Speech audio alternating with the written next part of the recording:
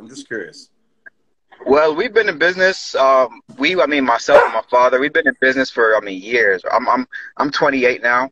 Um, but I mean, ever since I was like 12 years old, my dad had clothing stores. He would travel around in China, Hong Kong, and stuff. He had like, you know, um, factories and stuff that he used to do clothing.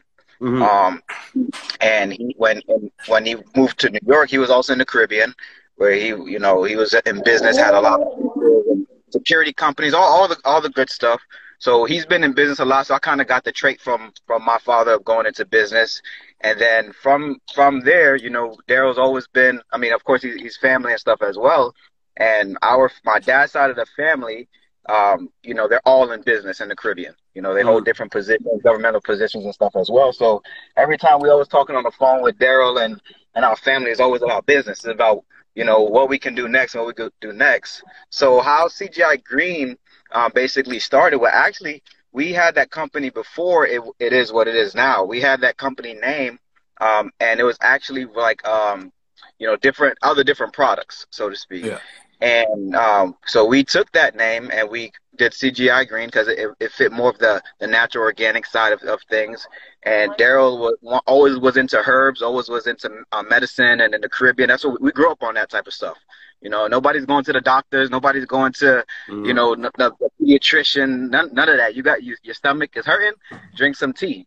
You know. Mm-hmm. Um, so in the Caribbean, that's basically what we grew up on.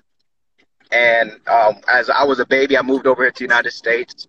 So you know, Daryl always talked about you know doing a lot of different things, and then my dad was like, you know what, why, you know, we've been traveling around. We see that there's a lot of in supermarkets all over the United States. There's a lot of Caribbean products that's not even like authentic. You know, it's not. I don't want to say. I don't want to say it's real or, or fake, but it's just not the authentic thing. You know. So Definitely. when we seen sea moss, which we use it every year, my, my father would make three different type of drinks so we can be healthy for school and things like that. Um, and then sea moss, the sea moss drink was one of them.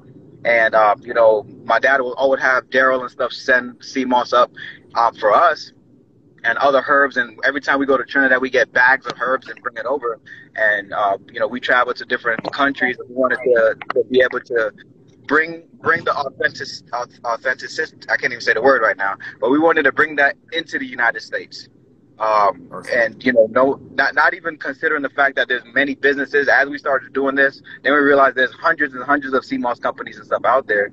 Um, but that's basically how um, CGI Green started, and then you know we started running running from there, just for the just for the aspect of providing you know quality quality products. Because uh, I also work with another um, organization, which I'm in management there, which uh, you know they make hundreds of billion dollars a year, and and a lot of the business model from that um, company, I take that and you know implement it into what what we doing. And I also have a nonprofit organization. So all these different businesses that we ran, we just you know decided to you know add a, add another one to our plate and bring our family and stuff along and and expand.